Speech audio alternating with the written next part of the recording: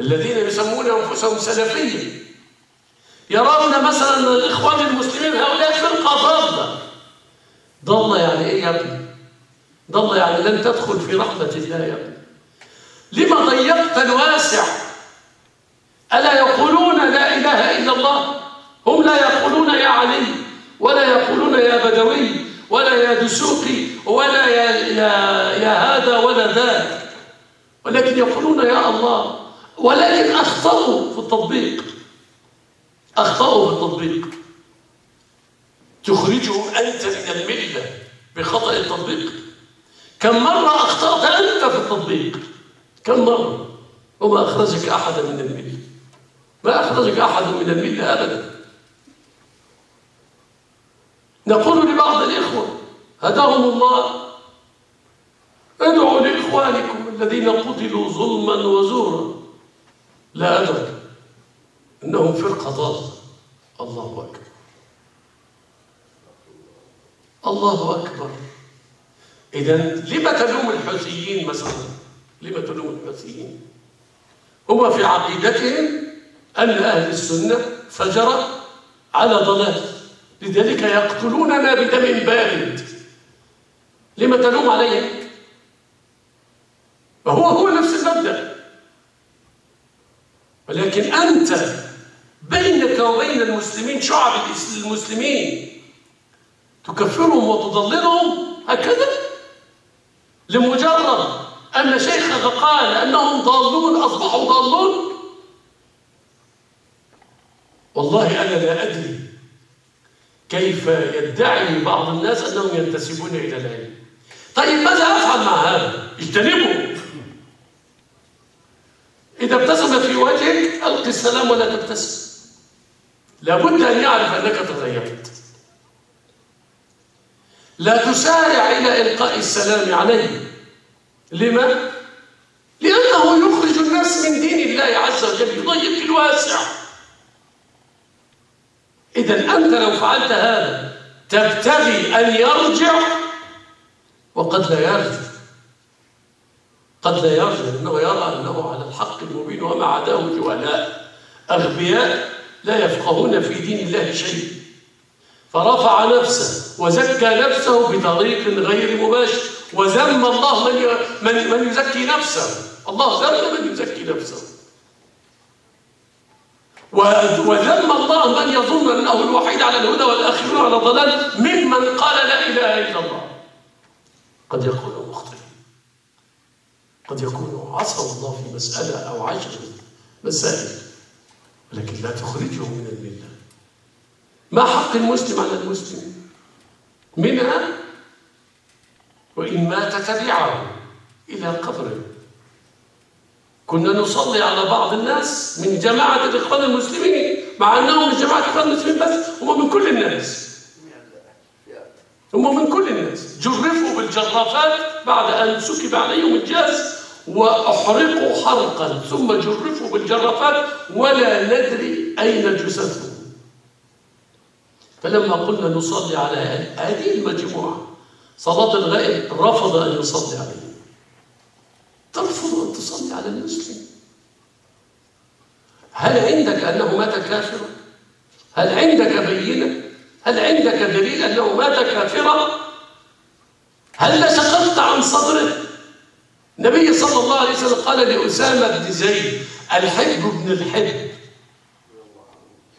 رضي الله عنه أسامة وعن أبيه زيد ابن حارث لما قتل رجل بعد أن قال لا إله إلا الله قال لا وقتلته بعد أن قال لا إله إلا الله قال يا رسول ما قالها إلا مخافة السيف. ماذا قال له؟ أصبت يا أسامة؟ لعلك يا أسامة على صواب؟ قال هل شققت عن قلبه؟ كيف أخرجته من رحمة الله كيف تقتله؟ وقد قالها كيف وقد قالها فتمنى أسامة بن زيد لو لم يكن يكن مسلما إلا في هذه اللحظة حتى يجب ما قبله لأن الإسلام يجب ما قبله. فتمنى أنه لم يقبل الإسلام قبل ذلك. تمنى لو قبل الإسلام الآن فيقول الله إن الإسلام يجب ما قبله. ومنها قتل هذا الرجل الذي قال لا إله إلا الله.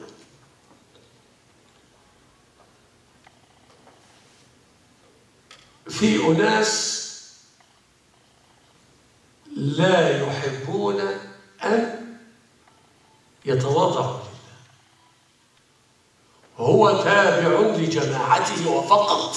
ما قالته جماعته هو الحق وإن كان الحق مع غيره.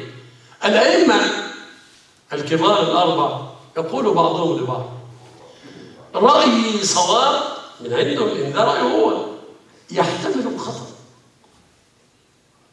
ورأي غيري خطأ عنده من الفقه يعني يحتمل أن يكون صواب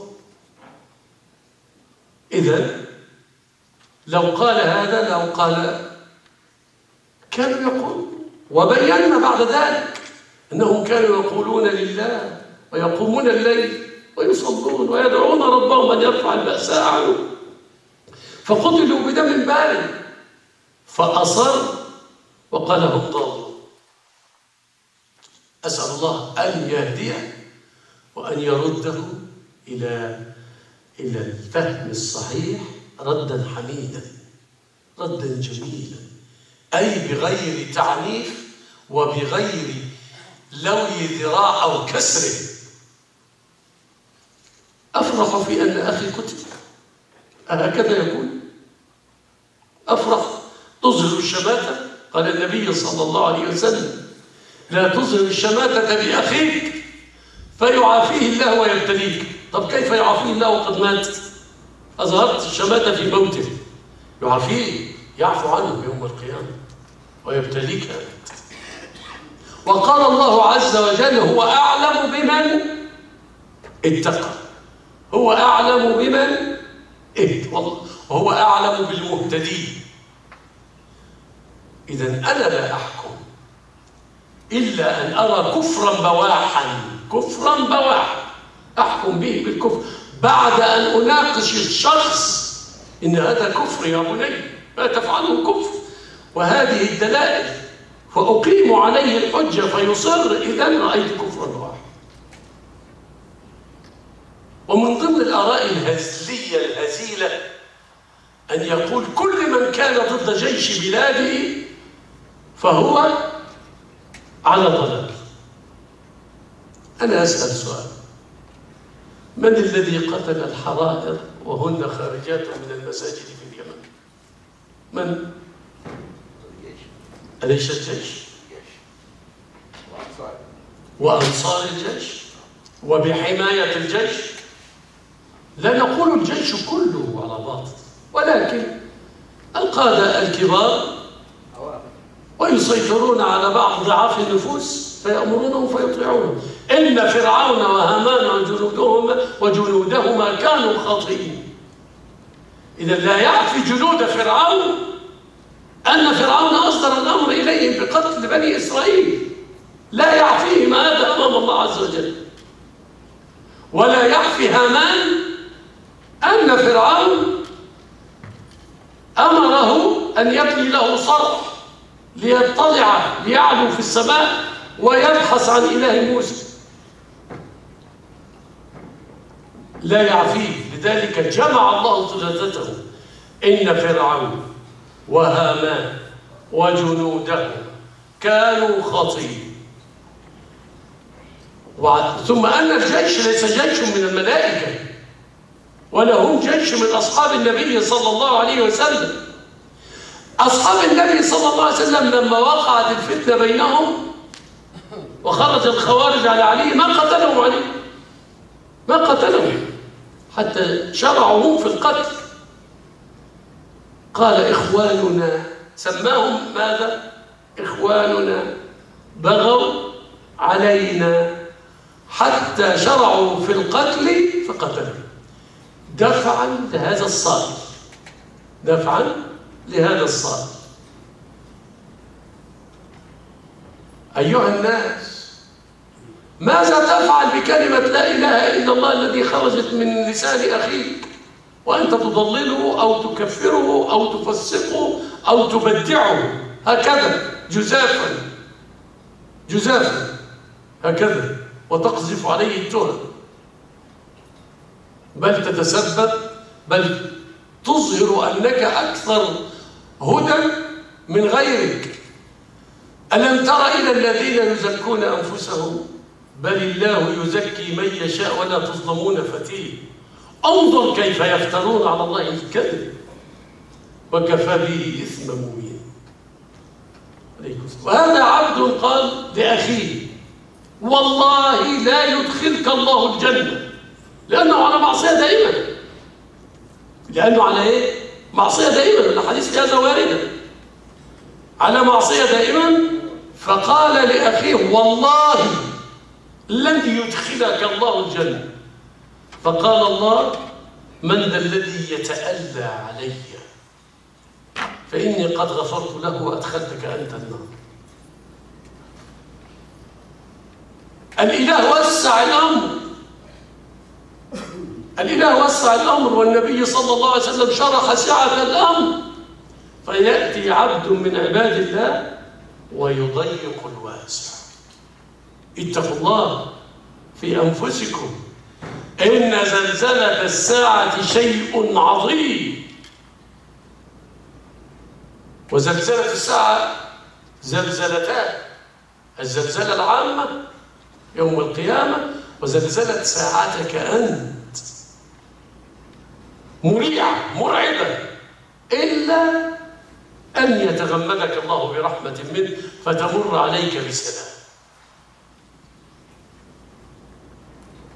الأمر بالمعروف والنهي عن المنكر مع نفسك مع نفسك أولا. أدب هذه النفس أدبها بالصوم أدبها بالصدقة. إن كنت لا تستطيع الصوم ولكن تحب المال أدبها من مالك.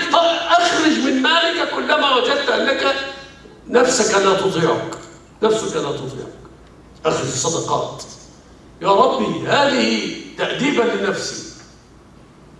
أدب نفسك وأدب ولدك وأدب زوجك وأدب جارك. بالمعروف طبعا مش هتروح تلطش في الناس. أدب الناس. وأدب نفسك أولا لأن فقد الشيء لا يعطيه فأنت لو غير مؤدب ولا مهذب ولا تعرف كيف تتكلم فكيف تؤدب غيرك؟ لا تتكلم في أمر الدين إلا بعلم. قد يكون عندك جانب من العلم ولكن ما عندك الجانب الآخر؟ قد تكون أفضل من الذي عنده علم من الجانب الآخر. موسى أفضل من الخضر.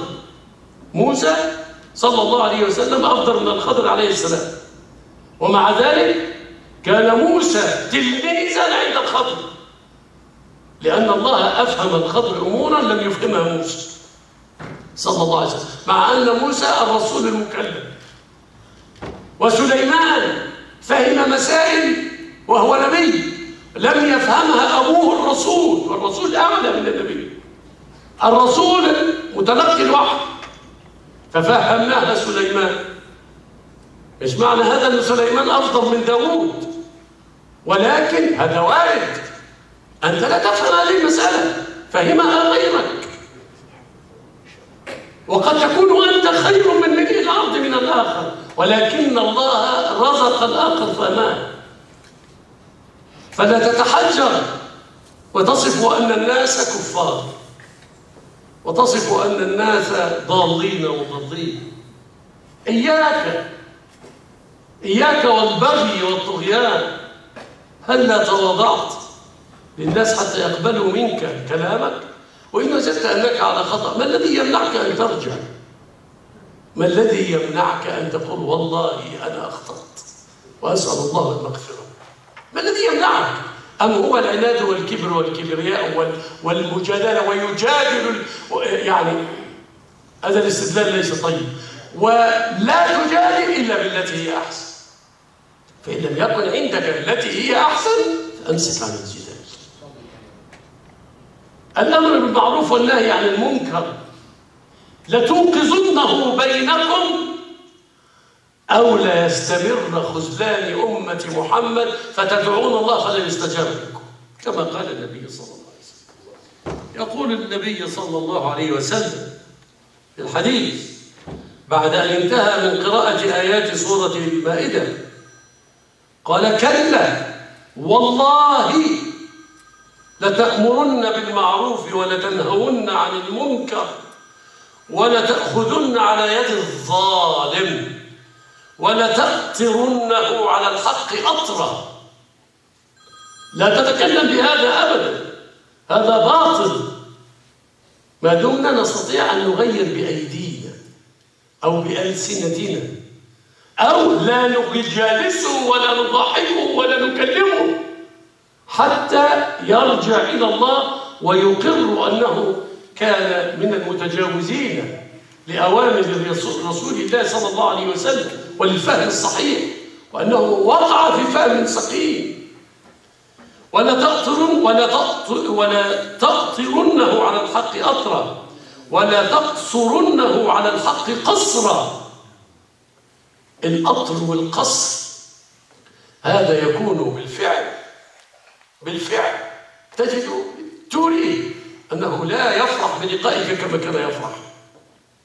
لا تريه أنك لا تفرح كما كنت تفرح بلقائك لماذا؟ لأنه يتأول على الناس بالكلام الكاذب والباطل فكيف أضحك في وجهه؟ كيف؟ لئن ضحكت اليوم في وجهه فأنا أعنته على تميع دينه فميعت ديني وميعت دينه فأسأل عن نفسي وأسأل عنه فاتقوا الله في أنفسكم. يقول النبي صلى الله عليه وسلم أو ليضربن الله بقلوب بعضكم على بعض ثم ليلعنكم. تعرف اللعن يعني إيه؟ لعن يعني الطرد من رحمة الله. أتدري ما رحمة الله؟ كثير لا يدري ما رحمة الله. رحمة الله مجزأة إلى مئة جزء. منذ أن خلق الخلق إلى الآن وإلى أن يرث الأرض وما عليها فيها جزء واحد من رحمة الله. يتراحم به الخلائق والإنس والجن والدواب والطير. حتى العنكبوت العنكبوت ترحم صغارها إذا خرجت من البيض العنكبوت ومعلوم أن العنكبوت شرسة جدا. هي تتزوج ثم تأكل زوجها. مثل مثل العقارب وغيرها. تأكله إن إن أفلح أن يفر فيعني كتب له عمر ولكن إن فر من من الأولى لن يفر من الثانية. فهو قصير العمر. الذكور قصيرة العمر عند الحشرات. كل هؤلاء يتراحموا بجزء واحد من مئة جزء من رحمة الملك. ثم يأتي يوم القيامة بتسع وتسعين جزء. والملعون من خرج من التسع وتسعين جزء لم يجد له مكان. لم يجد له مكان. في تسعة وتسعين ضعف من رحمات الأرض. سيكون يوم القيامة ولا يجد له مكان. فأي أي بأس أي بؤس هو فيه وشقاء. لأن الله كما قال النبي صلى الله عليه وسلم ثم يلعنه يلعنكم كما لعنهم نسأل الله ألا يلعننا وأن يعيننا على ذكره وشكره وحسن عبادته وأن يعيننا على الأمر بالمعروف. وأن يعيننا على النهي عن المنكر وأن يعيننا على التواضع للناس وأن يعيننا على بذل الأعذار للناس وألا يعين وألا يجعلنا ممن يزكون أنفسهم. فإنه لا يزكي نفسه إلا شيطان. نسأل الله سبحانه وتعالى أن يعلمنا ما ينفعنا أن يجنبنا ما يضرنا أن يغفر لنا ذنوبنا وإسرافنا في أمرنا. وصلى الله وسلم وبارك على نبينا محمد وعلى أصحابه وأزواجه وأهل بيته والحمد لله رب السلام